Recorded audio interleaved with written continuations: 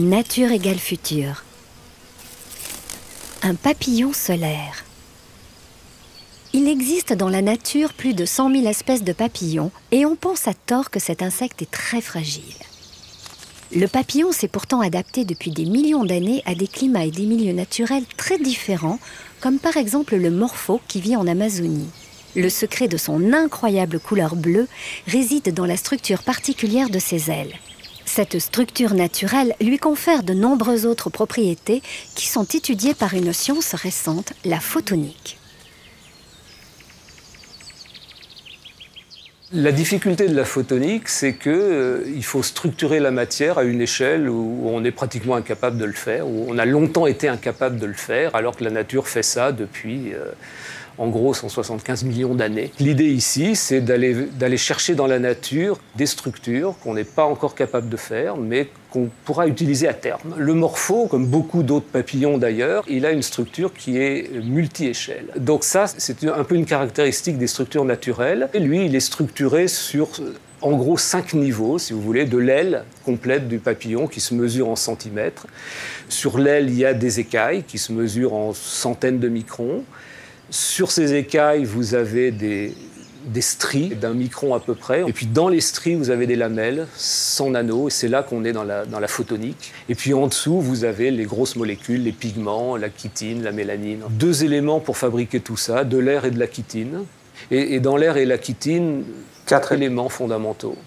Toujours les mêmes, euh, oxygène, carbone, azote, hydrogène, c'est tout. Et avec tout ça, à cause de cette structure, eh on fait de l'optique, de la mécanique, de la thermique. On fait toute la physique avec trois fois rien, au prix de la complexité. Nous, quand il dépasse 40 degrés, on est mal, mais rien de mortel dans tout ça.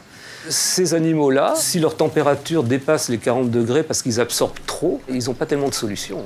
Donc ils ont développé une stratégie qui, qui est due à la chitine en particulier. Dès qu'elle est trop chaude, eh bien, elle se met à émettre dans l'infrarouge plus que ne le ferait un autre élément. Hein. Donc en fait, c'est absolument extraordinaire. Dès que le papillon est très chaud, il se met à rayonner de l'infrarouge et donc sa température baisse. Et dès que la température baisse, il redevient absorbeur et donc la température monte. Il arrive à se stabiliser à la bonne température qui pour eux est aux alentours de 40 degrés. Donc euh, une auto-stabilisation, si vous voulez, qui est le rêve de tout ingénieur. Euh.